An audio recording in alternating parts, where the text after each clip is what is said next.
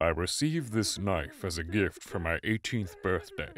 Wish I'd have known what it was, because as soon as I touched it, I grew a mustache and became a Navy SEAL. My mother fainted and my dad laughed and handed me a beer. I was born a girl. Minus two stars because my breasts were really nice.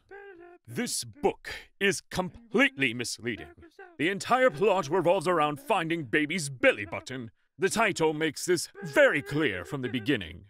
However, there is no mystery, there is no twist. Baby's belly button is right where it's supposed to be on baby's stomach. Right where it clearly shows you it is on the cover of the book. This plot is a complete mess as a result of its reliance on the mystery of where the belly button is. Everything falls apart the second you realize that the belly button was in plain sight all along. There is no conflict, there is no character development, and there is scarcely any plot. Whoever wrote this book must have a serious error in judgment, because you would have to be an infant to not immediately understand where baby's belly button is. This is one of the worst pieces of literature I have ever read. Somebody really wanted to get an A plus in book club that day. Congratulations, EA! You earned one star. Additional stars can be purchased for five forty nine each. I wear this mask to sing lullabies to my children.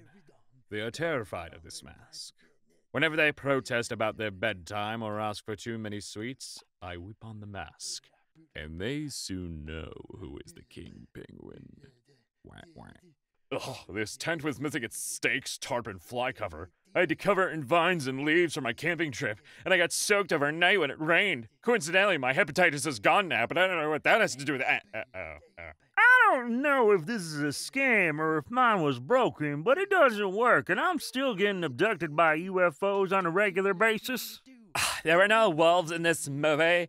Anime sweat drop of disappointment. Transmission of music data at rates faster than the speed of light seemed convenient, until I realized I was hearing the music before I actually wanted to play it. Mm. Apparently, Denon forgot how accustomed most of us are to unidirectional time and the general laws of physics. I tried to get used to this effect, but hearing songs play before I even realized I was in the mood for them just really screwed up my preconceptions of choice and free will. I'm still having a major existential hangover. Would not purchase again. So I upgraded to Windows 95 from Windows 8.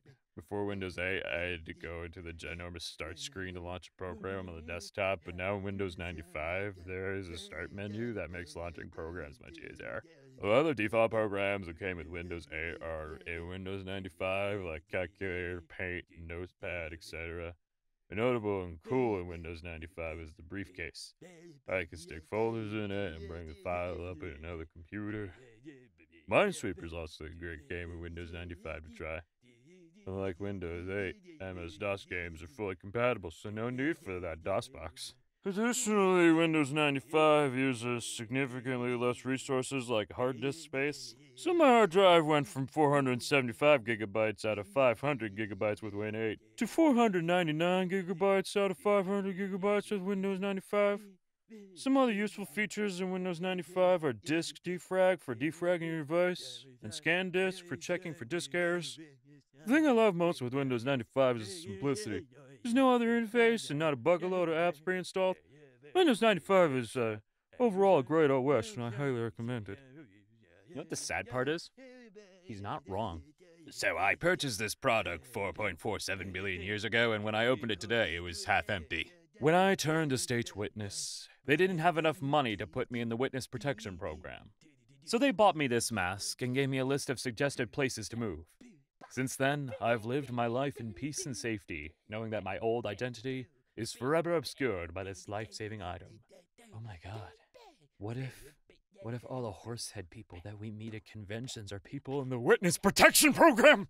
Warning Do you want your spouse to smack you? Your kids to kick your shins? Then avoid this album at all costs. You'll ignore them, all.